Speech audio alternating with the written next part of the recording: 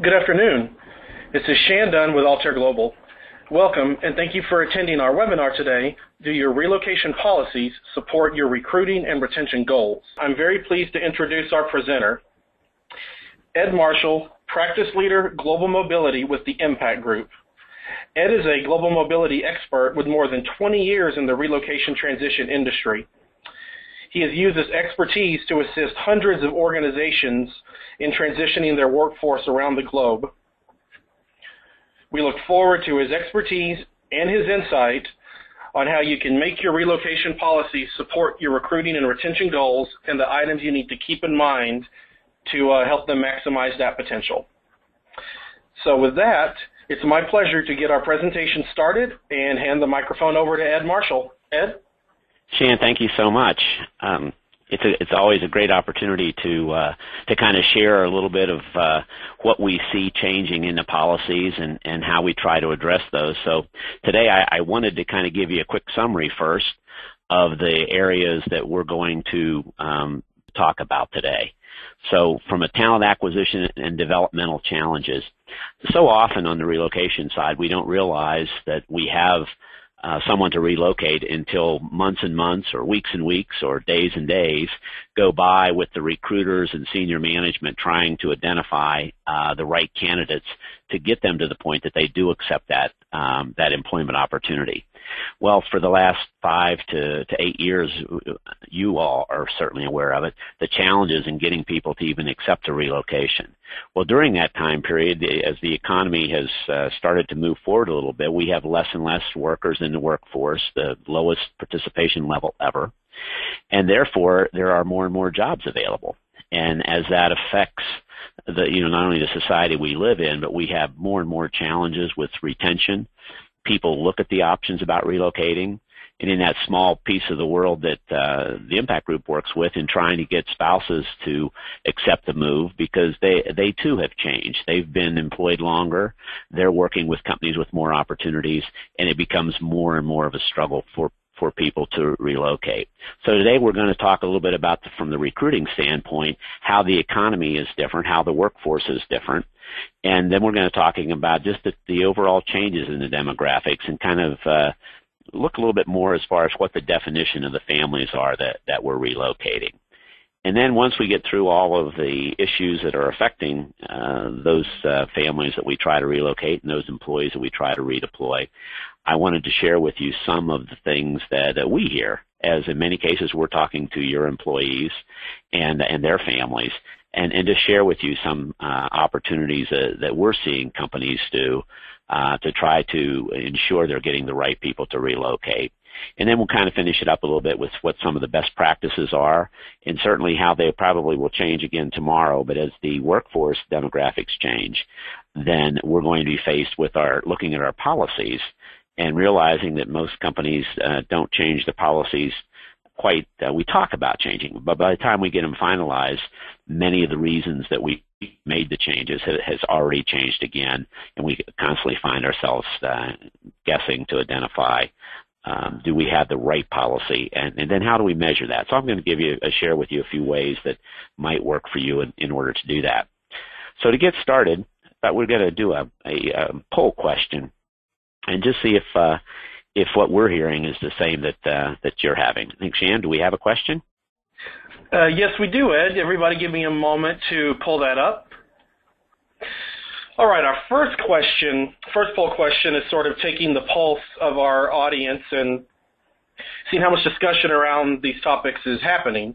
So our first poll question, are future talent needs and recruiting challenges being discussed more or less in your organization than in the past? Uh, your choices are less than before, about the same, and more than before. So while that's uh, that's being completed, I was going to share with you a, a, a couple comments that um, a lot of research out now on just kind of redefining in the human resource side as it gets in uh, and, and targeted so often into talent acquisition and, and HR that there seems to be some separation in compliance and benefits now handling being handled more by corporate HR and then line management handling more of the training and development. and the recruiting is still kind of on that pendulum. It's moving back and forth, trying to identify in different organizations how it changes. But the challenge is that uh, there's a a PricewaterhouseCoopers survey out, and they do a great job. I wanted to share with you that the um, comparisons that when they ask CEOs what their future their biggest challenges um, were this year as well as the last two to three years. The future growth depends on their talent acquisition and the availability to get the talent. They believe that over 30% of the CEOs felt they missed business opportunities to grow their companies in the last 12 months because they just actually did not have the talent ready to uh, take advantage of that. So way up that chain where, where the senior leaders are working on the strategy and growing the businesses, it is very apparent to, to that leadership level that they need to try to get the right people. And trying to find the right people um, is, is always a challenge. Even when we had very high un- unemployment, the, the individual skill set and the people that they're looking for uh, always uh, always is short. All right, Ed, we've got our numbers in, so let's take a look at them. Okay. Three percent of our audience said uh, less than before. Thirty percent is being discussed about the same, and of course, our majority, sixty-seven percent, uh, these issues are being discussed more than in the past. Well, that's exciting because that that's what I, I'm not exactly sure how we would have proceeded if it would have been differently than that, but that's going to help us kind of identify. And, and so, what I'd like to do now is to share with you why I believe uh, that we as a as an industry and we as a workforce are um, experiencing some of those. So we're going to go into a little bit more information about where that shortage uh, that the shortage does continue. All right, Ed, we're going to go ahead and move on, get started with our next topic, which is talent acquisition and development. Thank you. So, why do we have the shortages, and and uh, and can we see where those different pieces are? You know, a lot of our uh, a lot of the work around the world will change based on um, certain corporations' focuses and certain societal changes. But I I guess what I wanted to share when it comes to um, trying to get people to be in the right place at the right time would be we start looking at uh, at locations. And the shift of work of where are people uh, working now one of the biggest ones and, and I will say that I think it probably affects all of us uh, attending today is the ability to be able to work from home. So over 23% of the uh, of the employees are able to work from home on occasion and there's a large sector of um, three, I believe it's close to three and a half to four million people that work from home every day. But uh, of the total workforce, 23% can work from home on, on a going basis um, as they would need to. That has dramatically increased by almost 30% in the last five years. And I'm sure as technology continues to work, we'll find that. But then you realize, I think that has an effect when we get into our, our relocations, and we'll talk about that a little bit more. Many of the individuals that were required to, you know, to move uh, hundreds of miles across the country to work in another facility, um, a lot of that work, unless you're involved in, in actually managing the team directly, can be done remotely. So we can see that that is uh, is creating a challenge. And for those of you that are on the hiring side, you certainly can can probably uh, continue to explain um, why it's hard to justify moving somebody if they can work from their office or work from their home office and especially for those that are required to travel anyway, they're traveling and, and then being able to communicate and, and, connect on a regular basis. The other type of uh, shift of, uh, of work are the types of people that we're relocating.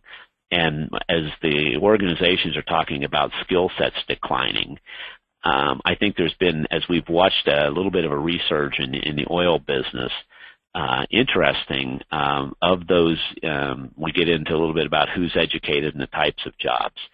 The seems to be, and this is always a perfect world. You know, for years, especially Americans, we everybody wanted to get a four-year degree, and then they went out and realized they spent um, lots of money, borrowed lots of money, and have very little job opportunities. The choice of a degree uh, also has a lot to do with it. So in many of the STEM practices, you know, the sciences and engineering, that a four-year degree will will not get you the kind of job without going back to get that master's degree for engineering.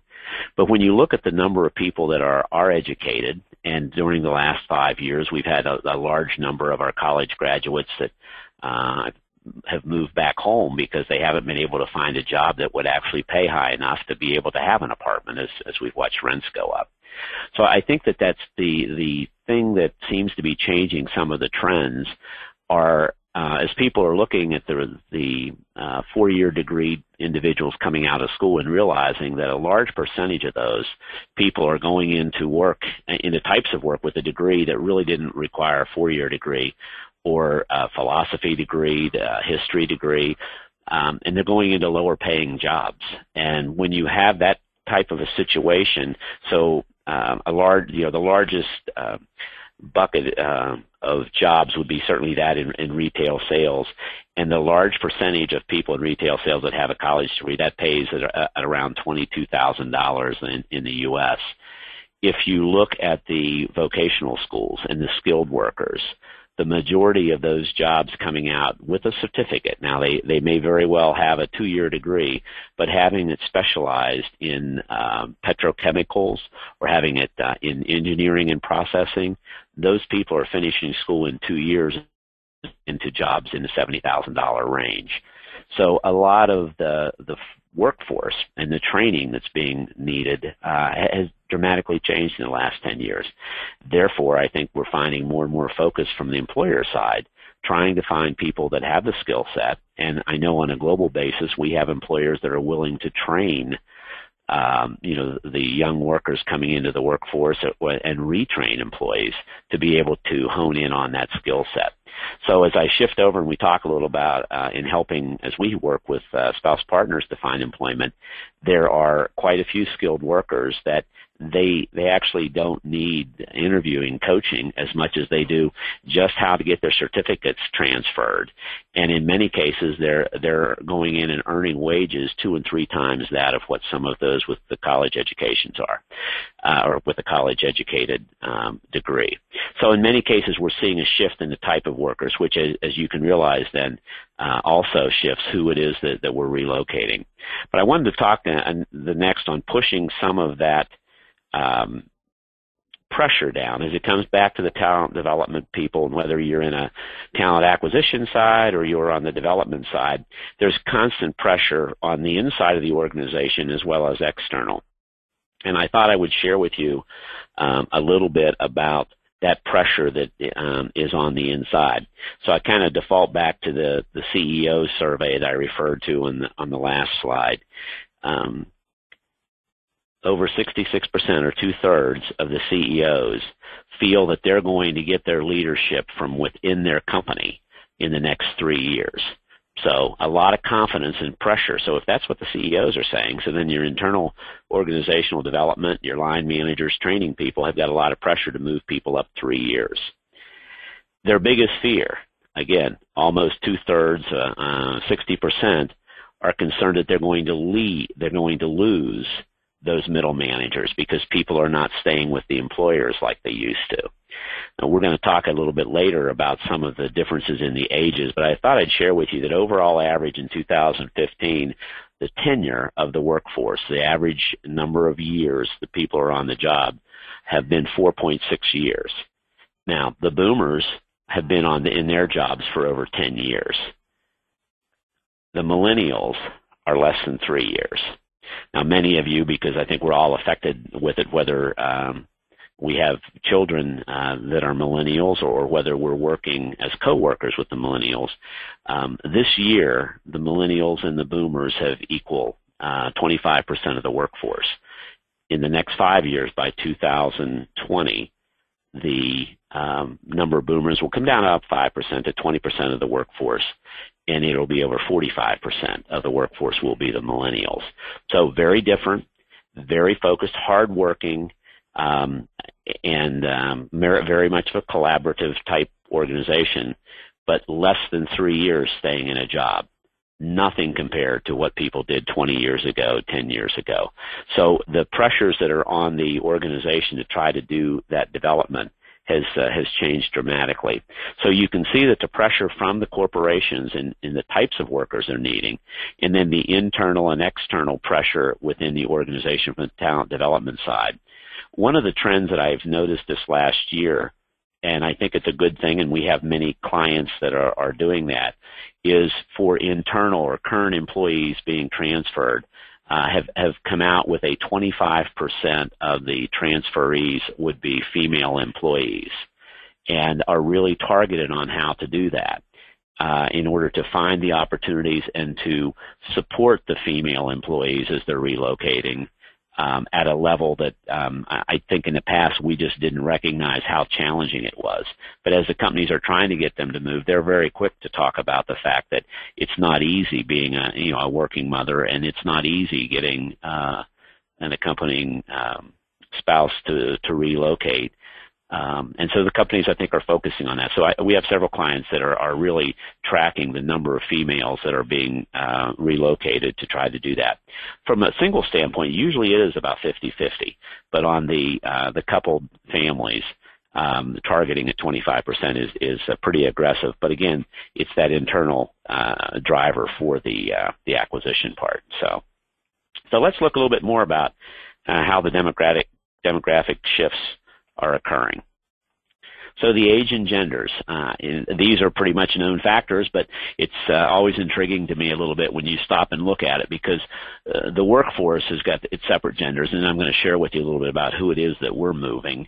Uh, and, and as you move your families, I'm pretty sure you're going to fall into that category as well.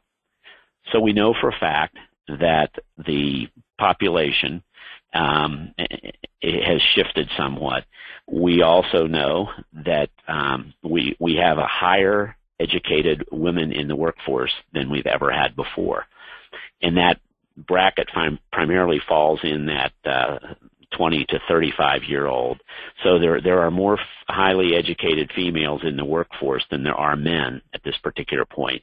So you know if, if your objective or 25 percent uh, uh, hiring and moving, at least you have that going in your favor. So you do have a lot of quality um, people to work with. I thought I'd share with you though that the um, age that people are getting married. Uh, for those of you that are old enough to realize the average woman was married at age 20 in 1960. Now it's 27. For men, um, same uh, kind of relationship, and as that has moved forward, men are now waiting to get married to be tw- to, uh, to 29. So then people say, well, is that really good or bad? Um, there's uh, some research studies out there that actually show that it has it benefits women much greater, and the statistic uh, that they share is for women with a college degree who wait until they're 30 to get married uh, will end up earning in their 30s and 40s will earn 56% more money than their the counterpart uh, female who uh, got married at, at 20 or under. So um, from that standpoint, we keep wondering why the population has grown so much and, and why um, the younger population aren't getting married in their early 20s. Um, a lot of it is due to education requirements. Um, a lot of studies out there on, on, on the debt and uh, so we know that um, our younger population are, are waiting on average of seven to nine years longer to, to get married.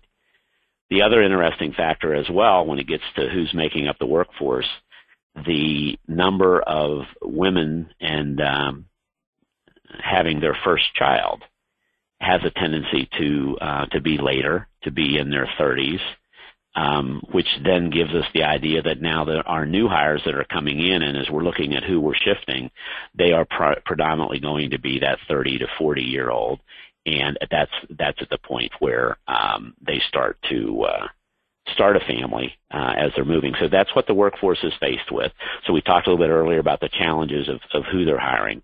I thought I'd share with you a little bit about the family size and, and the shift that we've watched in, in the um, the makeup of the family the actual singles now make up 28% um, of the the mix of, of families, and um, two couples, you know, a, a couple, um, if you will, are about 34%. So that kicks us back over to a couple moving with kids, which is always a large piece of uh, of the business. that um, has changed in in the last 20 years. It's reduced by 30 percent. So we know that the average family size now is is 2.54 um, across the United States, which is dropping. It doesn't seem like a lot, but it's it's dropping at about 10% every five years. So um, we have smaller size families. Uh, I think those of us that are in the relocation business will tell you that we probably are seeing more blended families with kids from both of the parents put together uh, more often than what the average workforce would be. But I just wanted to get a little bit of comparison as to um, the population of what's defined in the families.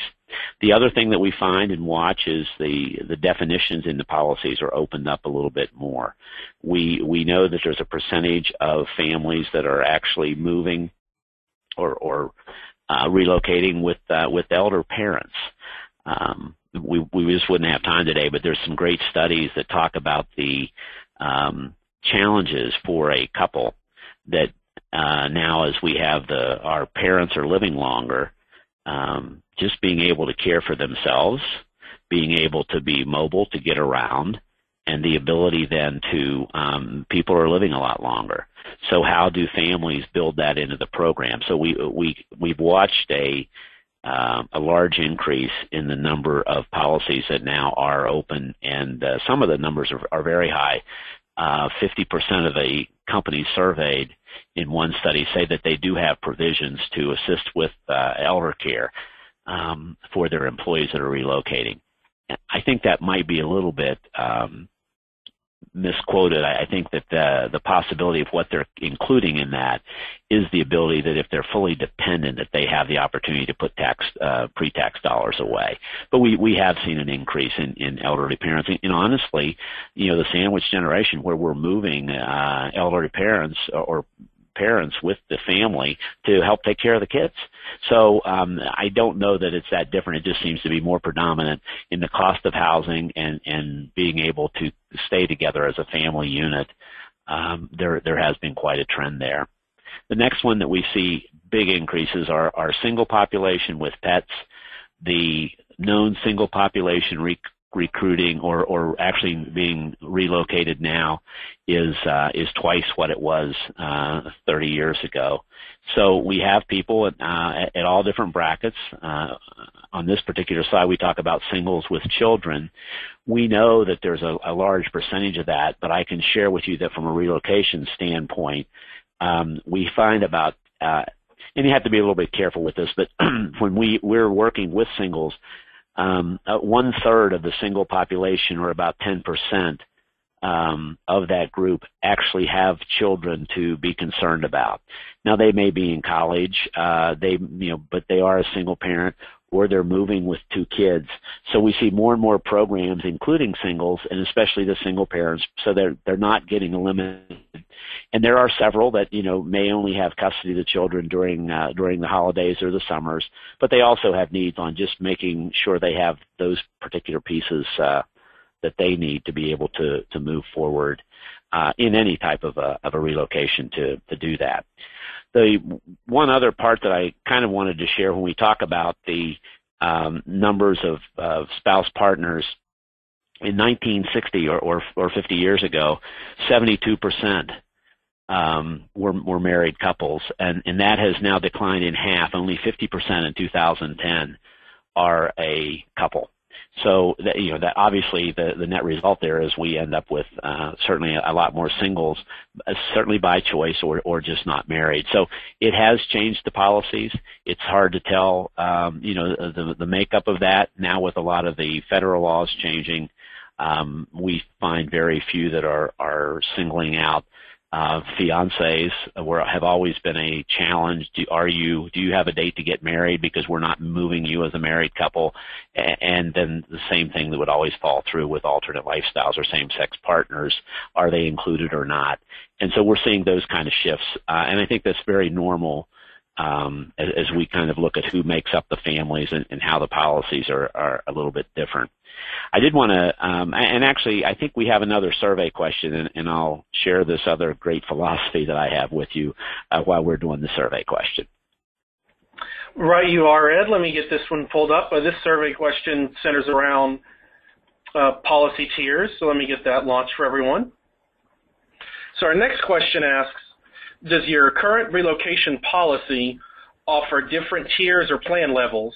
And your choices are no, yes with one to three levels, yes with four to five levels, or yes with six or more levels. And we'll give everyone just a little bit of time to vote on that one there what I was going to uh, share with you as you're completing that was as we watch the uh, age of uh, couples getting married and then as we watch them relocate, we always talk about the, the correlation of college uh, debt and the reason that maybe kids are waiting uh, later to uh, to get married. I think that's an obvious issue, but I there was a recent study out by Zillow that I thought was intriguing because I think many of us in the relocation business felt that the reason they're not buying homes is because they have so much debt um, that they can't afford to buy the home. And I thought the statistics that they shared were pretty interesting. It appears with a college degree, if one of the couple has a college degree, um, they um, about 30% of them are buying a home in in their 30s. So those of us that sell homes for a living, we realize then that, that there is hope. If they have a graduate degree, if one of the two have a graduate degree, there is actually a substantially higher, almost 10% more will have a home in their 30s um, at that at that particular time. So you know, and again, if we if we went back 30 years, that was happening when they were they were in their 20s. But there there is a appears to be very little correlation about having so much debt as much as the maybe the confidence that they'll they'll have a higher earnings potential. Um, so I, I'm not sure that how statistically perfect that is, but I thought it was interesting because I've I've heard that and I've probably said that many times that I would imagine with the amount of debt that our younger population have, that they're in no place to correlate the, the home sale side. The interesting part of the whole study was the fact that um, with rent being so high, the actual uh, increases in renting probably are keeping people from being able to save enough money to buy. And so there's probably more of a correlation uh, associated with being able to come up with the money for uh, for the mortgages for the homes. But um, it appears that those that are highly educated and, and are carrying debt uh, are more likely to uh, to buy a home. We talked a little bit more earlier about the millennials. They still, you know, one of the big goals in their life is to uh, to have a home and start a family. It's just it appears that could be 20 years later than it was uh, 30 or 40 years ago. All right, thanks, Ed. With that, let's take a look at our numbers. Okay, we had 11% for no, 47% for yes with one to three levels, 36% with yes, four to five levels, and then finally 6% with the six or more uh, policy tiers. So, Ed, how does that look compared to uh, what you encounter with the clients that you work with? The um, the overall average that I've been able to come up with is about two and a half is the is the right. So the percentages are very close. So we have a good group. It uh, they seem to be normal. so that that appears to be about right. And we we do see policies with six or more as well, but they're very usually very defined. And uh, we see a lot more of that on, on the global side. But no, I think the 47%. So you can see that if you add those two together, you know, we're up 80, over 80% are in, uh, well, actually, uh, 89% are in tiered programs. And I want to try to share with you today that I think that may be some of the changes that we're going to see um, as we continue to, to move forward. So I think we're ready to go, Shan, when you are. All right, Ed, our next topic up is uh, the problem of conflicting issues.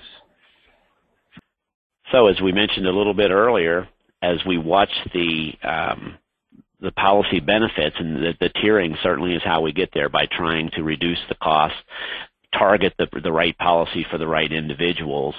And now suddenly, as we see the needs coming back on the talent side, um, the corporations are struggling. Uh, there are so many opportunities out there for people to find jobs, and we as a company, and, and, and as we have better uh, abilities with our computers and our tracking systems to control the costs and to try to make sure that we're reducing and pulling out any excess money that we have, we put the the recruiters and, and put ourselves ourselves as providers and, and corporate clients trying to maintain to keep the costs down, and the talent needs keep going up. And so, I, you know, I certainly don't need to share with you that the the cost of moving somebody uh, versus hiring them locally uh, is um, is kind of a no-win benefit if you can get the same talent. But if you remember, over 50% of the senior uh, executives want to develop from within their organization, which is good when we have to move people. But it's really hard when you're putting you're asking people to relocate under a policy benefit that doesn't meet their their current needs or their family needs in order to do that. So I just wanted to, to kind of share with you that all of the things we talked about the hiring side, the market's better, people are finding jobs quicker. Um, I wanted to um, identify the fact that I'm sure as you're looking at your policies, you know, people aren't tickled to death. Now we all know that if you haven't moved in a while, uh, and if you're not a multiple mover, you don't really compare the policy to what it is, and, and about 50% of the people we're moving are new hires. But I think as we try to move the talent, the current employees that have been on jobs or been on assignments before, we're going to find the fact that they have time to to make decisions. And the the sad part of it is they have time to look at alternatives. And uh, as we get into some of the best practices, I'll share some of those stories with you uh, as well. So now we're going to talk a little about the factors in the in the decision itself and the selection of the transferees. I think that um, what we're seeing, and, and again, these are just all types of recruiters that that we're working with and trying to get people to uh, accept the transfer, and to to stay engaged, stay focused on it, and, and to be able to provide um, the skill that we're trying to move is making sure that, that as we're selecting the individuals that we're doing the best that that we can. And so often, I think uh, one of the areas that companies um, and I, I, would say that all companies uh, would fall in this category. We're not really good at having the open discussions with the employees about the likelihood of them wanting to, to relocate or transfer. So we're going to talk a little bit about uh, in the future about the fact that uh, how mobile are they really? When you have people already in an organization that have all types of reasons that they would never move, or they they will talk to their coworker and they well, that's just something we'll never move. Um, you find more and more companies looking uh, with the short time that we have people in positions and they're trying to maximize the investment of making a relocation, there's got to be better ways to determine them, their mobility, their being the employee. Are they likely to move or not? We have uh, tools that we work with companies to identify the likely uh, the, the likelihood that they will relocate when they need them. So as they're out hiring new talent and bringing them into you know different locations, um, companies hiring people before they put them into that hypo development area in California, they'll run them through an assessment to determine are they likely they will be willing to move to Boston or not. Because if they're not willing to move there and they have to replace a position in Boston, but they need to replace that person with a trained individual, then maybe the person that they're hiring in in California is not the right person to plan on moving to Boston because if that person right up front says they're not mobile, then you've spent a lot of time and energy only to be disappointed.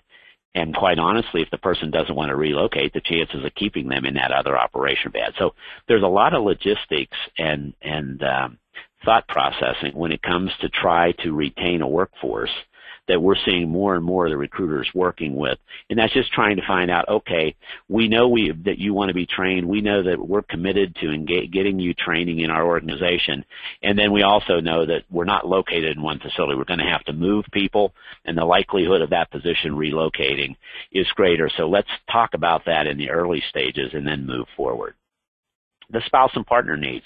We know that uh, 65% um, of the transferees um, have a uh, are in a, a dual career situation. It may be that um, it's part time. It may be that it's full time. And I, be, I believe about 25% of the time, the spouse is making more money than the employee. So trying to identify are there needs there and the likelihood that the spouse is going to move. Um, we could go on if we, we had the time and I could share with you all of the stories that we hear when an individual will call in and, and say, oh, don't worry, my husband will use your services. He's going to need a job when we get there. But if we never have an opportunity to talk to him about removing some of the hurdles, removing some of the fear of relocating, there's a likelihood that he'll never engage in the program.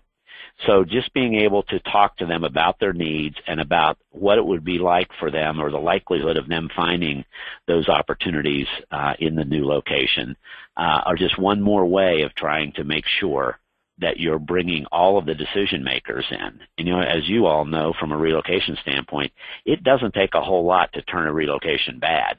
It just takes a, a whole lot of listening to try to identify the right way um, to to find out if these people are likely to move or not. The other one that that we struggle with a lot is just the timing of the physical relocation.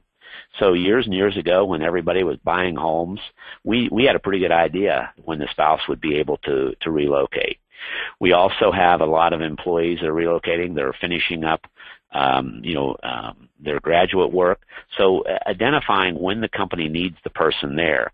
We're recently looking at some policies where the retention is getting to be so hard to um, to retain people to stay within the company and by that relocating, that they're actually making the um, the spouse partner assistance available a year before the physical relocation date, because they believe if the spouse can find the right job and move ahead, then the timing is more on the company of trying to get the employee uh, to relocate uh, at, on the time period. So you see a lot of uh, creative ways of trying to work around the physical relocation. So often, and, and I think overall average, um, the relocation management companies and, and most companies give people six to eight weeks to physically start their job and that's about the average time that we receive an authorization to start working with the with the family. But time and time again, and, and you know, there's all kind of vocations this way, but we'll get somebody in the summer who's a school teacher and they just are so frustrated that they stayed and didn't move because they had to finish teaching school until June and now they're moving to uh, you know to a new location 3 400 miles away and they can't get a teaching job well, those teaching jobs were all filled in February. So again, the timing of when you're going to be in the new location is so critical when we can get to that and help people identify those type of things. So the good news is when, it comes to the, the actual size of the spouse partner, it's a great time to be looking for a job. It's a tough time to be giving up a really good job and having a lag period and trying to find another job in in a different location. So just be as you always we're always looking at the the decisions is to be proactive uh, in providing the type of support and talking about the types of things that are problems for people to move so that you can um, remove those. So often it's not uh, an insurmountable hurdle. It's just the fact that nobody ever asked. And so I think that the the one thing that we've learned is to, if you are considering people to move, to openly ask the individual and ask the family um, what what part of the move they're struggling with or what do they think about the move. And if they deselect themselves, uh, hopefully those, you know, years ago, those were career ending decisions when you turn down a relocation. And we're finding now that almost 70 to 80% of the companies said, no, if they turn down a relocation, by all means, we're not eliminating their position. They can stay in their old position. Um, we just would like to have them in a different one. So I believe we're going to ask another quick question here, and I think that's our last uh, question.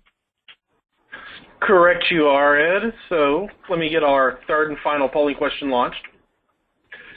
This question asks, does your organization offer a pre-decision program prior to a relocation? And your choices are no, yes with a real estate and financial focus, yes with a focus on the family factors, or finally, yes with a focus on both of those factors and I realize so much of this um, it doesn't always get down to. Uh, I'm sure every, each and every one of you would say, "Boy, I wish our organization would do more of that and, and ask more of those questions." Because uh, I think our experience says that whenever you don't, you end up with all types of exceptions. Everybody asking for this as an exception, or or that as an exception. And there are, we all know, there are just certain people that should never move. So.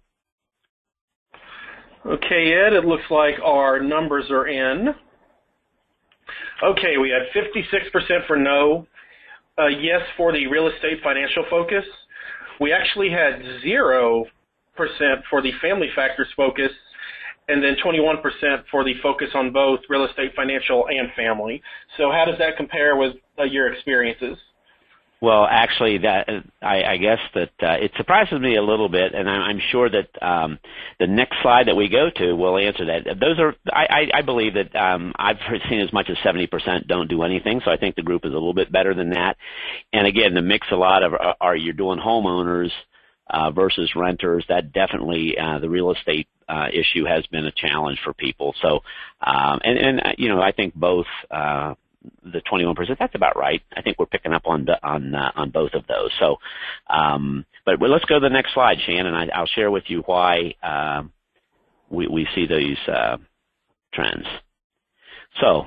Um, I apologize. That's just a little bit cloudy, but I wanted to share with you, and, and this is a 2015, and many of you that have done this for a while have seen this for the last 10 years. It's been tracked. Family issues and ties are the number one reason for relocation refusals. Spouse partner employment is a number two. And, and I honestly believe that number three item are the things that people don't want to tell the employer about. So when you look at the top reasons for people not taking a relocation, um, these are the reasons that, that they share with, and we see these every day. But as you notice, if you've got the top three reasons and you're not asking about those, then the chances of getting the people to accept the relocation can be a little bit greater if you're asking uh, uh, those issues um, ahead of time. And I, I'm always amazed that um, when we talk to the employee and then the, we ask the employee to let us talk to um, you know to their spouse and explain what we're going to do. So how often the employee doesn't have a clue what their spouse does in their vocation, and on the other hand, the employee will say, I'm not even going to consider that because of the issues that we're dealing with with our family. So there's a lot of reasons that people um, refuse, and, and we track this as we do assessments. We know that 30% or 30 to 35% of the individuals will turn down a relocation. Um, I always kind of like this study because it breaks it into the categories. If um, most uh, corporate clients will tell you that it's a physical location. I don't want to move to New York. I don't want to move to San Francisco. And when you dig in there and start talking about it, it has nothing to do.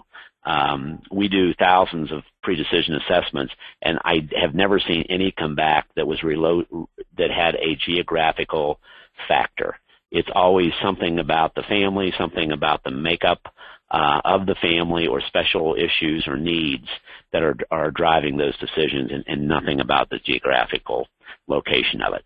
So uh, again, this is uh, 2015. Now, five years ago, the housing and mortgage um, and you know the negative equity were up in number one and two, but um, family issues, spouse partner, and, and personal reasons were still in the top five and, and have been for as long as these surveys have been done. So that's uh, that's why I think it's important that we're asking those before we put people into those uh, moves. And if, if, we try to increase the uh, acceptance rate, uh, asking sometimes how to deal with them, and quite honestly, they're not all major. Just having the conversation with them uh, and identifying how to uh, answer their concerns will get you a, a yes versus a, a no. So. So how do you you change it a little bit, and how do you make the program a little bit more of a uh, of a, a success? You probably have a dozen different ways. I find it's important, and, and when we do assessments, is we don't go down a list and tell them all the different things that they're going to have. We ask them what's important to them, and and then instead of saying, you know, what do you need? Half these people have never moved before. They don't know what they need. And I think you'll see that uh, a lot when you deal with lump sums. They don't have a clue what they're going to need because they have no experience. Um, and we watch that in the different needs and stuff, and, and they do um, they do want to have verification. We see that in millennials. We see that um, they want somebody to be able to acknowledge that they're going to make the right decision. They'll make the decision. They'll do it really quickly. But they they I always like they, they I want to run it by you. I want to bounce this off of you uh, to to get some validation um, uh, based on the decision they're going to to make. I also think that the uh, allow the external experts to discuss the employee and spouse desires and challenges. And the reason I say that is on on so many of those personal issues. Um, just over the years, I've had people say, "Is this truly confidential?" And if you can let them share with you what that issue is, knowing that it's not going back to the company, because in many cases the company doesn't even want to know this stuff, you can help them come to the conclusion that yes, it is, I should, we, sh- we can do this. I know we can do it. Here's what we need. And there are others who need to get good information so they can make the right decision that at this particular time in their life, it's not a good time for them to relocate their family in order to do that. I also have people who will come up and say, um, my uh, my husband has a master's degree. Will he be able to find a job? Well, you know what? Uh, until you know what it's in, and if he wants to practice in that, uh, what type of income is he making? Where so so often, and you all are put in that position. You get people asking you, you really don't know. So you need to talk to somebody who can relate to that and give them the best information, and then be okay with the fact that uh, when you're willing to listen and make assessments, they're not always going to jump at it, and it's not always one where you have to offer them more money to do it. It's listen to what those challenges are in order to do that. And the other is just to set the expectation of the organizational, uh, the organization's culture. Every company is different. So whenever they somebody says, "Well, it's okay, uh, I'm going to be able to transfer with my company," there is a big breakdown in, in the onboarding because in one region they they operated a certain way, had a different manager, had a different relationship. When you throw that culture and then you put a relocation on with somebody with a family, you are really struggling because now you're moving, uh, you're, you're putting a lot of dynamics together in a very short period of time. So making sure as the the organization itself is going through changes that the, um, the the new employee going in understands that, and likewise we see it where a spouse says, "Oh, you know, probably 20% say, I think I can transfer with my own company, I can work from home," is to to really help them go through that whole process and determine is that the best opportunity for you because you don't want to turn down other opportunities or take less income uh, or you, you're going to have a different working relationship within that company. So to look at all of the views and empower them to make the right decision. The timing is critical. Um, the longer you delay in letting somebody make that decision, you know, if you can move that, um, there are I, I, I just know of dozens of companies that we do group moves on, and when they say they'll have two to three years uh, to to make a decision, in this labor market, when 65% of the spouses are working, those employees are not going to move because the spouses have a good job and from the time they try to get you to give me another month, give me let me decide what we're going to do, they'll end up not actually taking that job because they're not going to go through the hassle. Uh, you know, we used to say breaking even. Why move from a home I own, a neighborhood I know, my spouse has a great job, everybody's connected. I now have a year or two to look for another job. And that's where that whole retention of the current employees are. we just, we just don't see the people jumping to move. It's not that they were were financially profiting. It's the fact that it's just complicated to move, and uh, regardless of uh, you know the, the all the physical aspects of it, you're still going into areas that you're not sure of in order to do it. and from our standpoint is to understand how the timing plays into that job search and, and how we do that uh, to try to match it up. You know, we, we have many programs where we create job openings for people, but if they're waiting for a house to sell, we in turn uh, never give them the job opening um, while they're still waiting to get an offer on the house. So we have to time when do we move them into that next stage if they're waiting because nothing's more frustrating for a family to have the spouse staying in the old location waiting to get the household to be able to move. So hopefully with the economy doing better now, um, we can do some better timing in order to move that forward.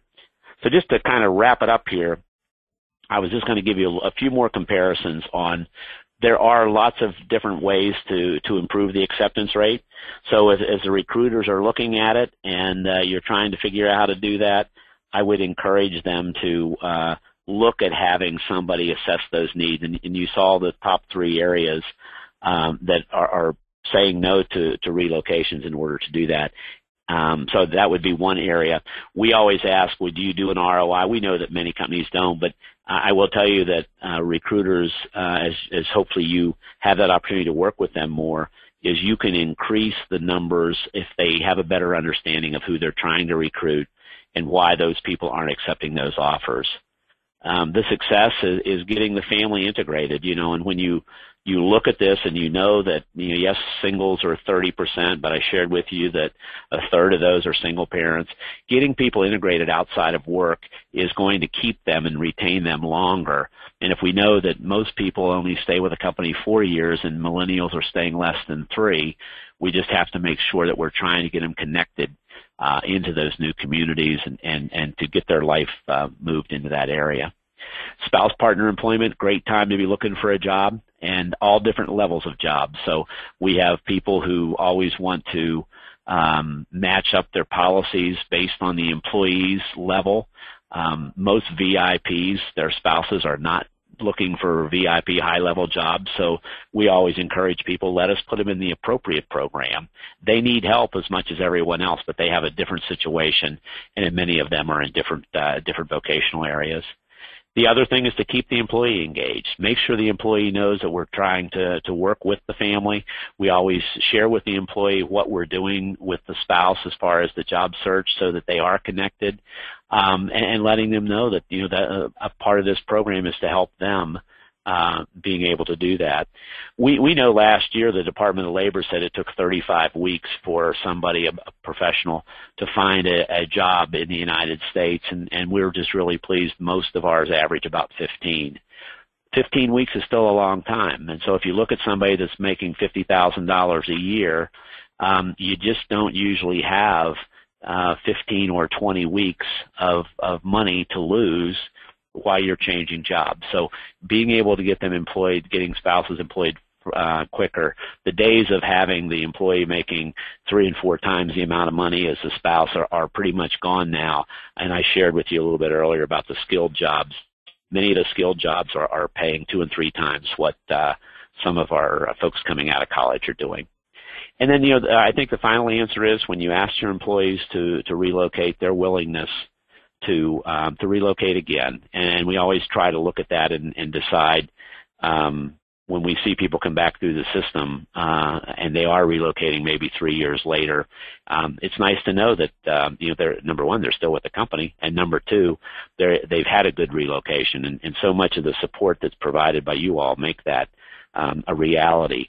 But uh, companies are going to continue to to need to move people, and uh, hopefully we can look at the policies and the challenges that are out there in today's society and uh, be able to match those up a little bit better to uh, to improve those. So that's about it, and I just really appreciate the opportunity and time to to share that with you. Shan, I'll turn it back over to you. All right, thanks a lot, Ed. Great presentation. Uh, okay, folks, I'm just going to pull this up for just a second uh, so everyone can take a look at it. Um, this is your recertification instructions for ERC CRP credits and for HRCI Human Resources credits. This slide is also included in the handout that you should have received about 11 a.m. Central, so a couple of hours prior to the webinar. If you did not receive one of those presentation handouts, please let us know in the Q&A and we'll make sure to get it emailed to you. And for HRCI, I know uh, number three there says that approval is still pending, but I actually received the email shortly before coming in here to pull up the broadcast that it has been approved. So if you're an HRCI holder, go, you can go ahead and submit for credit right away. And for CRP holders, since we've already applied for pre-approval, you should not be charged when submitting for your CRP credit. So now I'm going to open up our last couple of minutes to look at any questions that we've gotten in from our audience. So everyone will bear with me for just a second. I'm going to go to our window and see if we've had any come in.